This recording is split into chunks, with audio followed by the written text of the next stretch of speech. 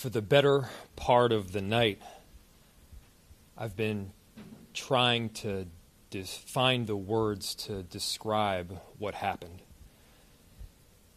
And all I keep coming back to is that he should not have died. What we saw was horrible, completely and utterly messed up. This man's life matters. He matters. He was someone's son, someone's family member, he was someone's friend. He was a human being, and his life mattered. Whatever the investigation reveals, it does not change the simple truth that he should be with us this morning.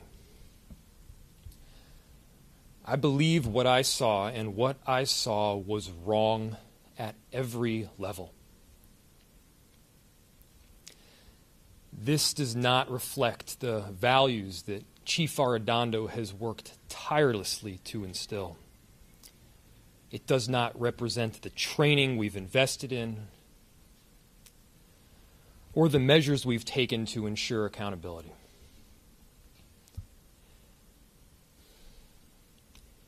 Being black in America should not be a death sentence. For five minutes, we watched as a white officer